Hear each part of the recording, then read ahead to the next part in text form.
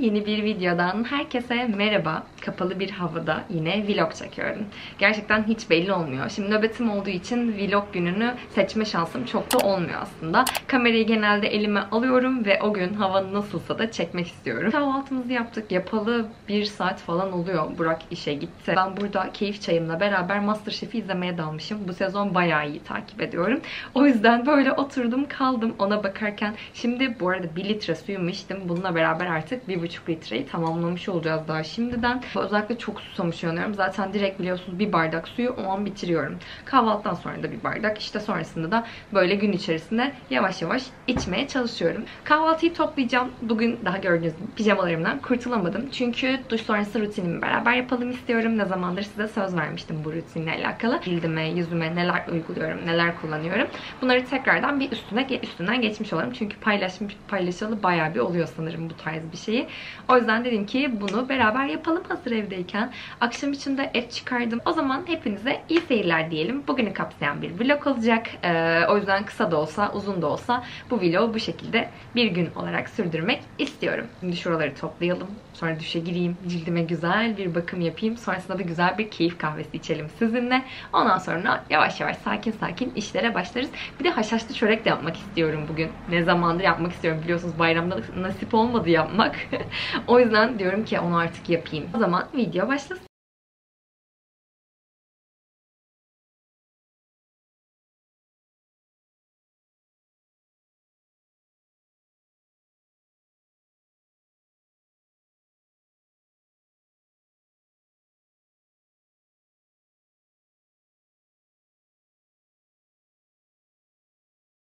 Etimi üzülmüşken daha fazla bekletmeyeyim ve düdüklüye koyacağım.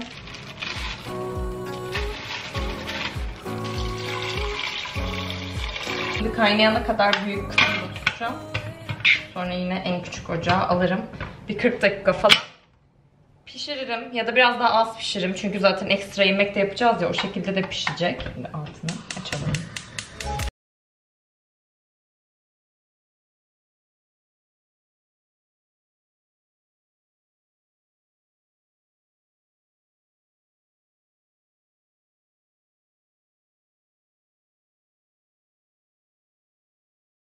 Etimiz haşlanırken düdüklüde dedim ki o arada biz de hemen hamurumuzu yapalım. Çünkü bu da zaten bir saat kadar mayalanma süresi olacak.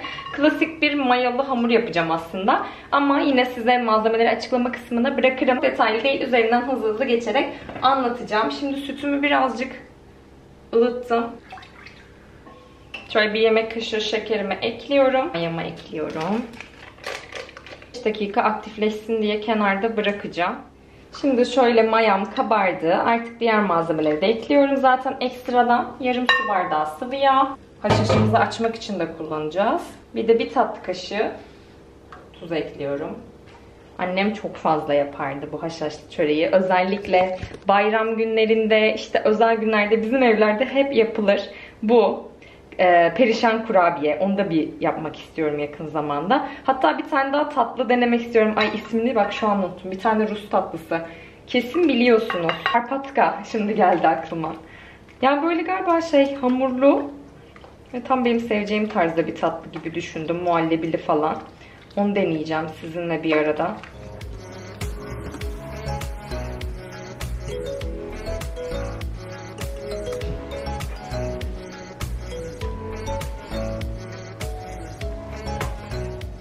Bakın poğaça hamurundan bile birazcık daha yumuşak. Ben şimdi elime sıvı yağ sürdüm. O şekilde tekrar toparladım rahat olsun diye. O yüzden yapışmıyor aslında bir tık ele yapışıyor. Bunu güzelce yoğurup bir, bir saate kadar mayalamaya bırakacağım.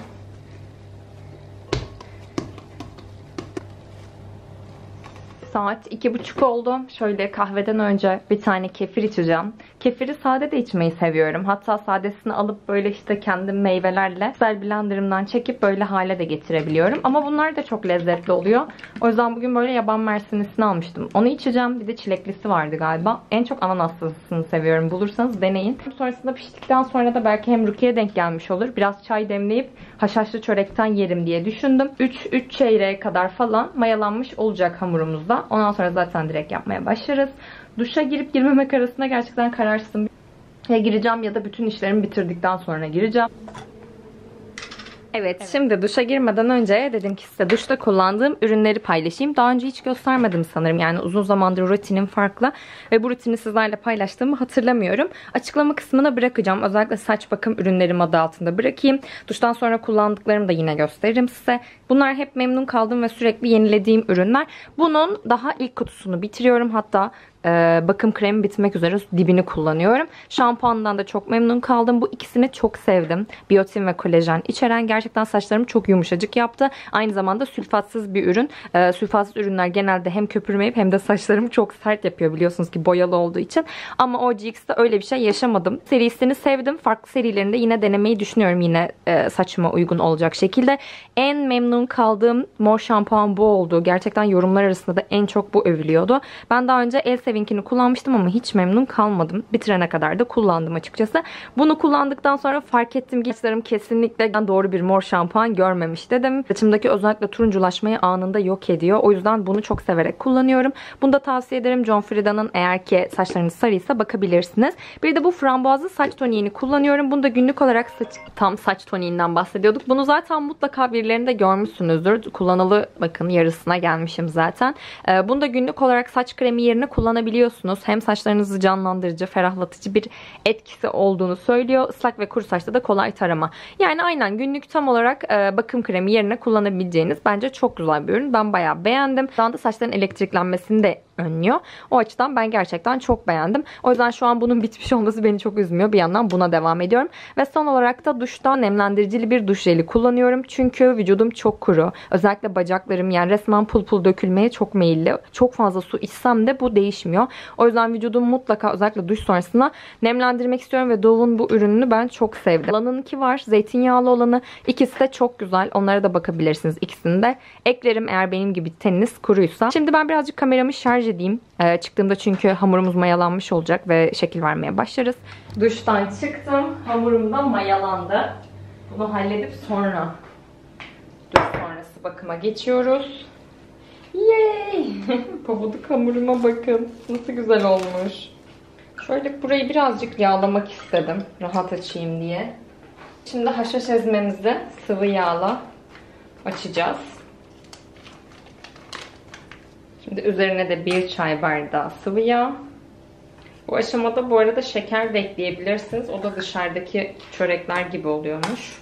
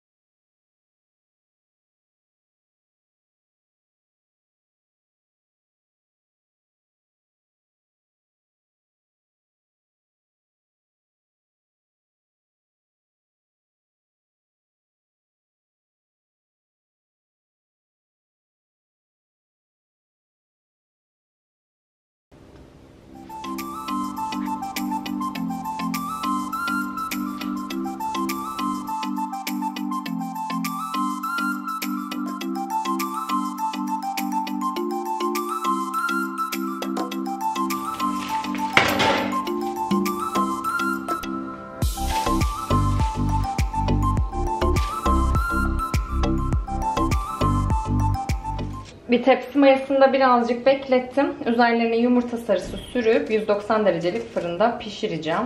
Bir tanesini attım bir tepsiye. Şimdi sıra bunlar kaldı. Ay bir posta pişti. Şunlara bakın nar gibi kızardılar. Şu an yeni çıkardığım için aşırı sıcak. Dokunamıyorum ama yumuşacıklar. Gerçekten şahane gözüküyor. Neyse çok hafif soğusun. Birazcık atıştırırım. Hem o arada saçlarımı falan kurutayım ben de. Evet. Duşa girmeden önce genellikle Foreum'la temizleme jelimi sıkıp güzelce cildimi temizliyorum.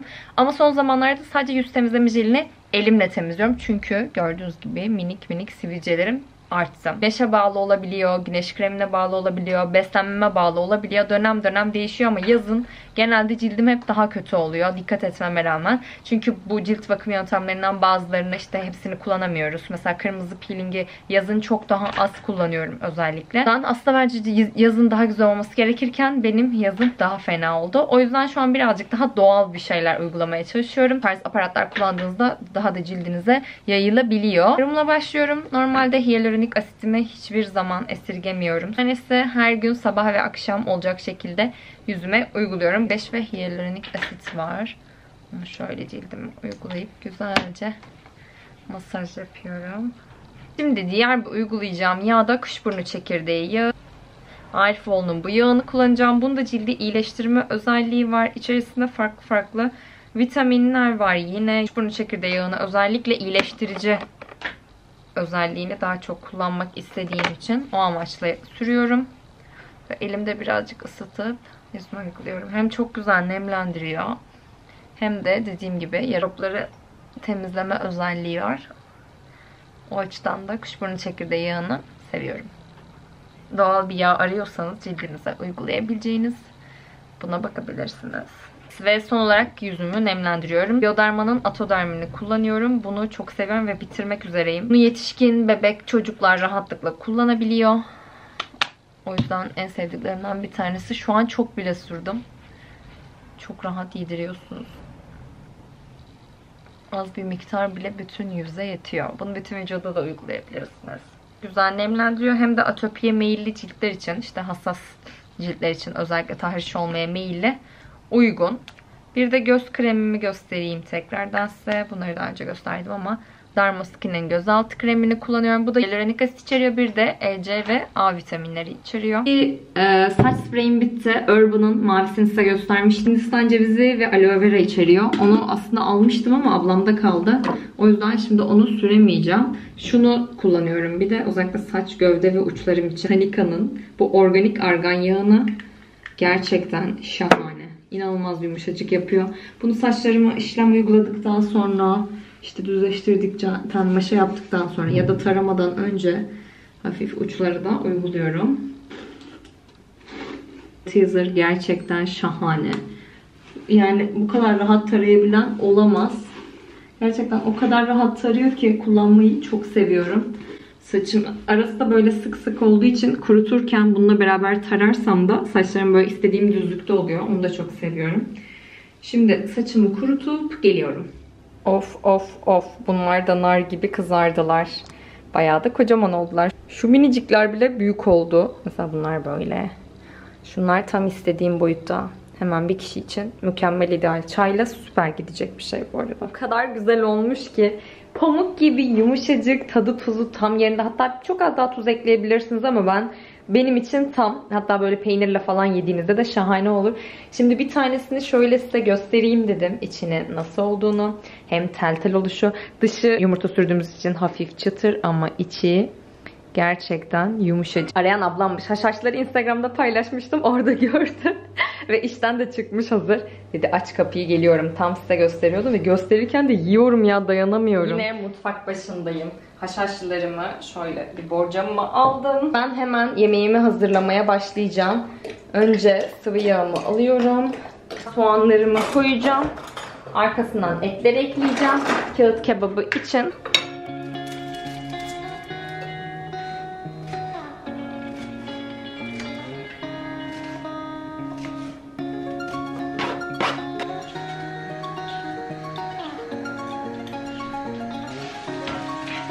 Şimdi soğanlarım bir yandan kavrulurken Etleri de ekleyeceğim. Soğanlarla beraber kavrulsun.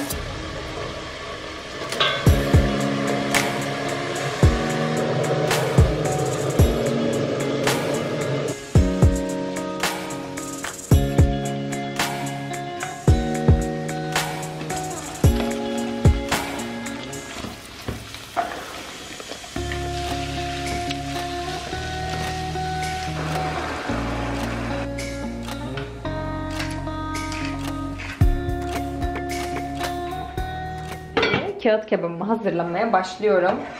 Güzelce pişirdim. Yaklaşık bir 15-20 dakika falan pişti. Bunu böyle tek kişilik porsiyonlara hazırlayacağım. Sonra şu şekilde sarıyorum.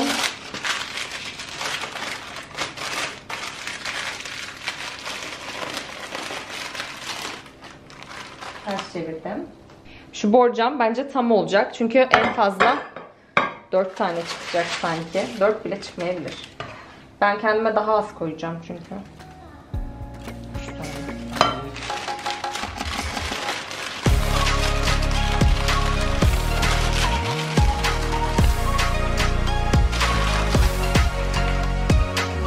Kağıt kebabımız hazır.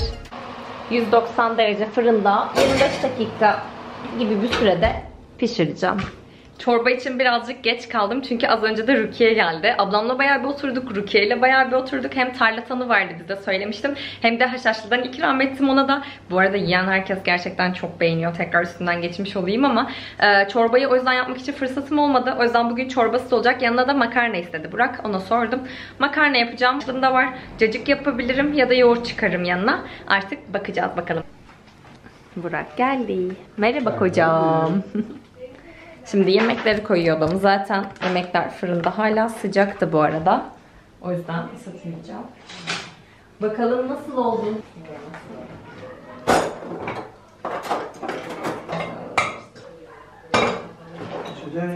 Şurada yarım Oh. Masterchef'te başladı.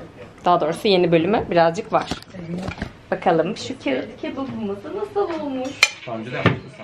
Bakın. Nefis. Tam 20 dakika falan gibi pişirdim. Hatta var ya yanmaya başlıyormuş az kalsın. Ama ben çok pişmiş severim. Bilirsin. Bu daha az bak. Evet az olanı bana ver Hayır, daha az istersen. derken daha az pişik. Ha sen ye onu o zaman. Ben ondan alırım ya sen ye. Tamam. Arven alıyor. O zaman bize afiyet olsun. Ya ne oldu ki? Teşekkürler sağ olun. Günaydın. İkinci günden herkese tekrardan selamlar. Bu videoyu alışverişimi de gösterip öyle kapatmak istedim. Ee, dün çünkü yemekten sonra hiçbir şey paylaşmadım sizinle. Birazcık dinlenelim diye ortalığı toplayıp hemen içeriye geçmiştik. Saat sonrasında zaten Burak geldiğinde 8'de yemeğimizi yediğimizde birazcık ofiste babalarıyla oturmuşlar. Saat 9.30 civarında ben yeni bölüme geçemeden Masterchef uyuyakalmışım. Diyorum ki hamurlar yormuş beni galiba. Ve sabaha kadar uyudum. İnanılmaz dinlenmiş hissediyorum. Aslında biliyorsunuz çok fazla uyumak bana göre değil ama ara ara vücut böyle demek ki dinlenmek istiyor. O yüzden kendimi de zorlamadım açıkçası. Zargoma birlikte bakalım. Ağustos ayı alışverişime neler aldım sizlerle de paylaşmış olayım. Ee, bu videoyu öyle kapatalım istedim. Yine bu ay içimesinden güzel bir alışveriş yaptım. Ağustos ayı alışverişimi sizlerle paylaşmak istiyorum. Öncelikle Ecem ablam için bir tane hediye aldım. Bu da indirimde şöyle bir etek yakalamıştı. Gerçekten de tatlıymış bu arada. Hatta esnek de bir kumaşı var. Bakın şöyle pötikareli bir etek aldı. Bu etekleri biz şehirde giymeyi çok seviyoruz bu boylarda. O da ofise falan giderken giyiyor. Hepsini açıklama kısmında da ekleyeceğim. Sizin için stokları olanlara oradan bakabilirsiniz. Ay aşırı tatlı bir tulum aldım. Yine çok hızlı tükenenlerden biri oldu.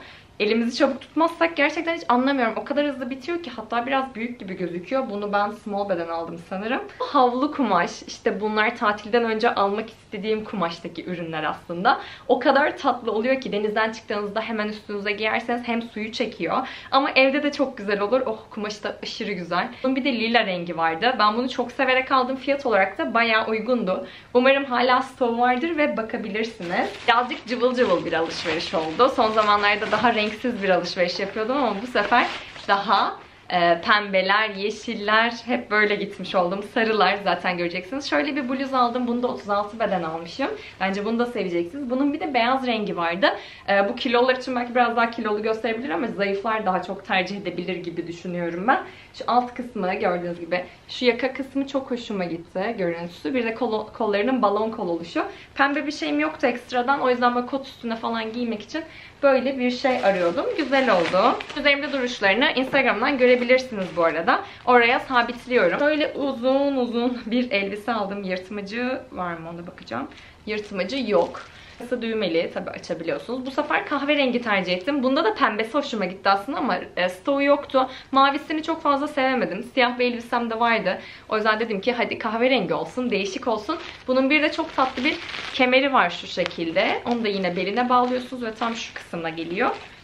O da güzel oluyor. Kemerini de göstereyim hatta. Şöyle gayet kaliteli bir kemeri var. Bunu sevdim. Özellikle sonbaharda falan rahatlıkla giyebileceğimi düşünüyorum. Çiçekli cıvıl cıvıl bir tane bluz aldım. Bunu da 36 beden aldım. Büyük mü ya birazcık? Ama gayet tatlı. Bakar mısınız? Kumaşı şöyle dantelli gibi. Lilası var, içinde sarı, pembe. Her türlü renkle de kombinleyebilirim. Şuraları da düğmeli. Bunu da çok beğendim. Bence buna da bakmalısınız. Umarım stokları vardır ve yetişirsiniz hepsine. Her ay yaptığım alışveriş merak ediliyor. Ben de hızlı bir şekilde paylaşmak istiyorum. Hem sizi sıkmamak adına. O yüzden diyorum ki üzerimde denenmiş hallerini de oradan görebilirsiniz. Son olarak bir tane hırka aldım. Daha yaz bitmedi ama ben yine bir tık minik minik kışlıklara geçmeye başladım.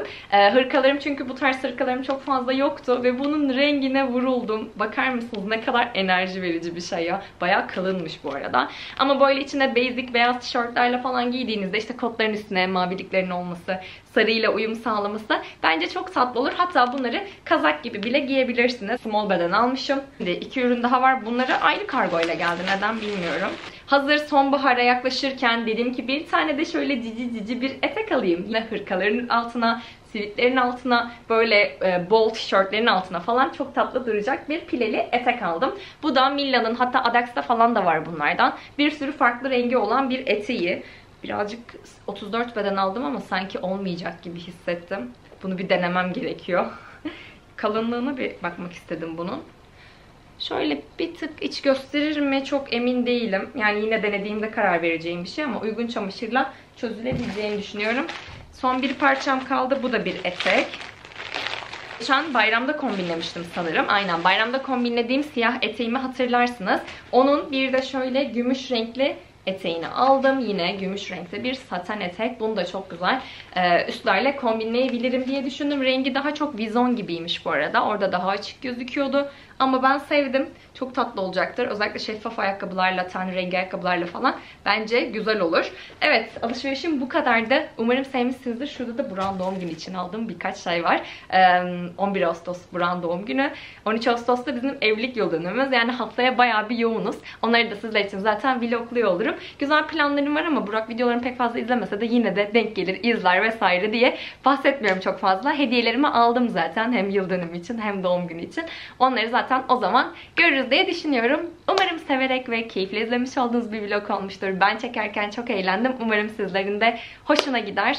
Dediğim gibi nöbetimin sıklığına göre işte e, videomun yayınlanacağı güne göre arada bir ya da iki gün olabiliyor bazen ve o günlerde de ne yapıyorsam onu çekmek durumunda oluyorum. Video çekmek için çekmek değil hiçbir zaman. Sadece sistematik olmak, düzenli olmak işte videomu günü gününe yayınlama isteği bendeki. Yoksa bu videoyu işte kısa oldu diye erteleyip başka bir güne tekrardan atabilirdim. Umarım seversiniz. Bu videoda böyle olsun. Çok uzun olmadı ama bence sıkmadan da videomuzu burada bitirebiliriz diye düşünüyorum. Bol mutfaklı, e, cilt bakımı bakımlı ve alışverişli bir video oldu. Sizleri seviyorum. Kanalıma abone olursanız çok mutlu edersiniz beni. Ee, sonraki videolarda görüşmek üzere. Hoşçakalın, sevgiyle kalın.